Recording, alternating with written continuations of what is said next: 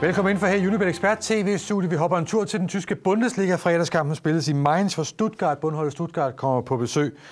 Og øh, når jeg lige sagt løber ned over sådan de to holds øh, placering i ligaen og, og historik, så kan man sige, at Mainz, de, øh, enten vinder de, eller så taber de hjemme. De har fire sejre, fire nederlag på hjemmebane. Men Stuttgart, de har tabt fem udekampe i den sæson. Bliver det sjette udbanenederlag i træk? Det er, træk med i sæsonen. Ja, det er jeg meget overbevist om, at det gør. Altså, man kan sige, de fik sat en lille bitte smule prop i senest, da de spillede 1-1 mod Werder Bremen. De har fået en ny træner, Jürgen Kramny, har erstattet Alexander Zorniger.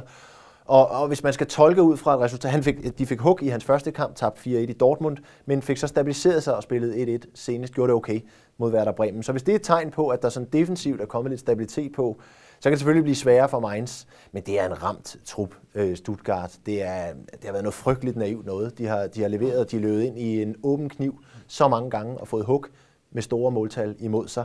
Øh, og Mainz, du siger det selv, altså det er lidt øh, plat eller krone, det er, det, er, det er nat eller dag, men, men, men for mig er det altså et inspirerende bekendtskab og fremme.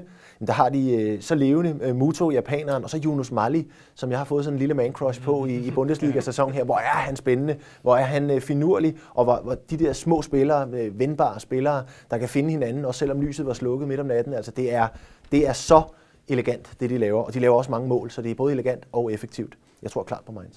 Ved du hvad, jeg øh, tilslutter mig den analyse, og har også noteret mig et et-tal på mit papir. Og især øh, så længe oddset holder sig over to, så synes jeg altså, det er rigtig, rigtig godt betalt på, at et hold, der ligger nummer syv i øh, Bundesligaen, der spiller mod øh, ligaens nummer 17, et hold i problemer, som Sager siger.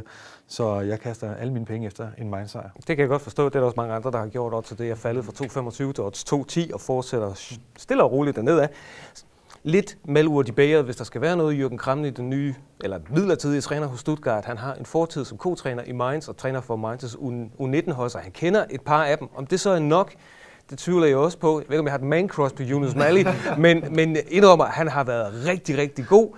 Uh, Muto har været god.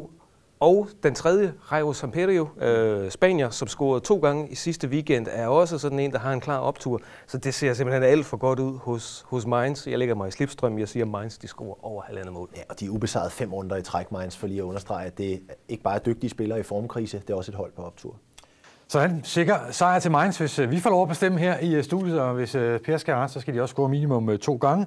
Gå ind på unibet.dk til mange flere spiltip og analyser på weekendens kampe, og selvfølgelig også masser af spilmåder på alle kampene rundt omkring i Europa.